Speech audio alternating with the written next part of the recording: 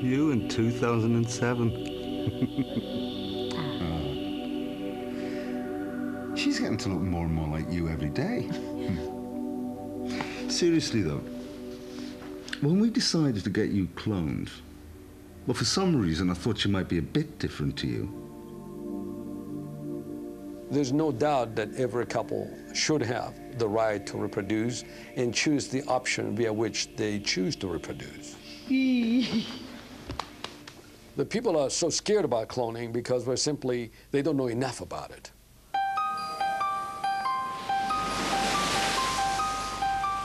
Few scientists doubt that a human clone is already in the making, and that such a development is full of risk.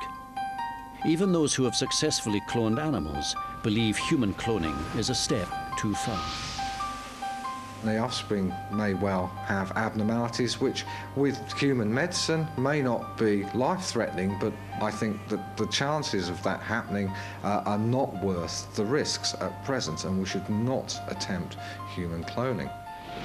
I think what people have got to realise is that if you develop human cloning, you're going to start experimenting on children, on babies, and there will be things that go wrong.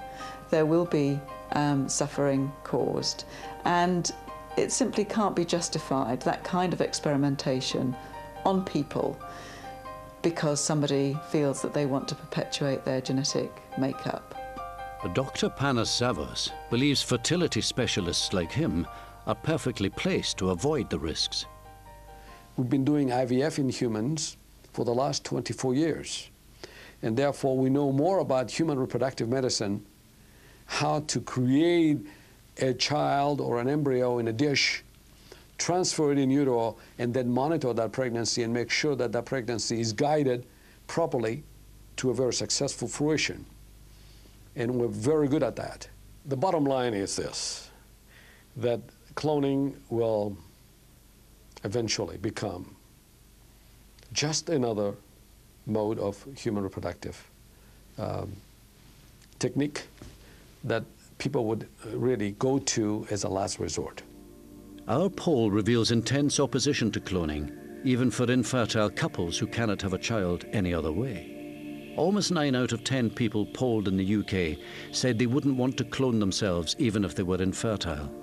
The Danes are even more opposed to the idea but a third of Mexicans support cloning.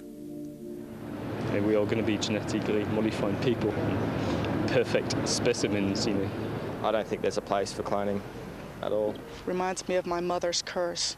I hope your children are just like you. No. Many of us, it seems, find human cloning abhorrent, but some believe that distaste among scientists will disappear once the first steps have been taken the scientific community, they're saying, oh, no, no, no, this is irresponsible, it's unethical to clone a baby. But then when you dig deeper, the scientists are really not opposed to cloning. They're just saying it's not safe yet. We haven't perfected it yet. They're really only opposed to those researchers who are jumping the gun because it isn't safe or because the scientific community hasn't put its blessing on it. The only way to stop human cloning altogether might be to impose a worldwide ban.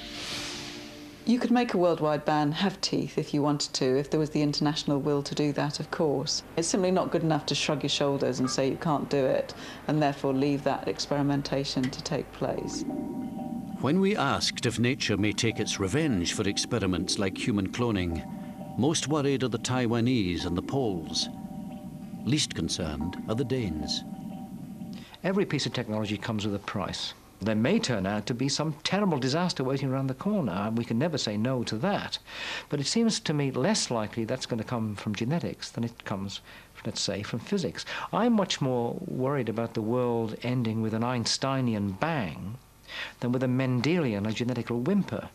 So I think let's get real about the threats of genetics. They're there, but the hopes are much, much greater. And the promise of those hopes remains extraordinary.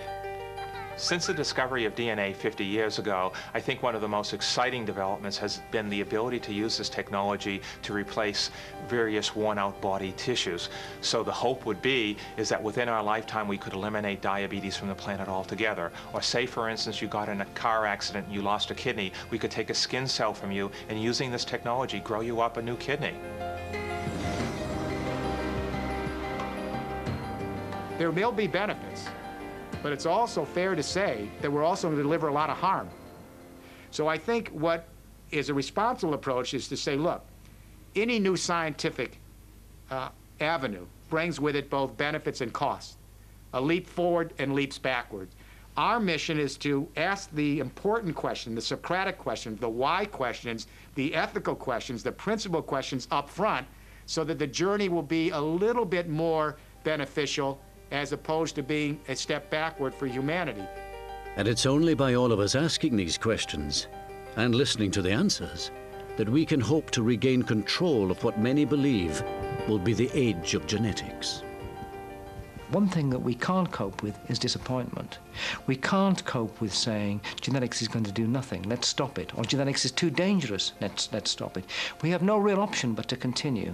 And maybe in 50 years from now, I hope, genetics will allow me to come back and look back for the century of the DNA molecule.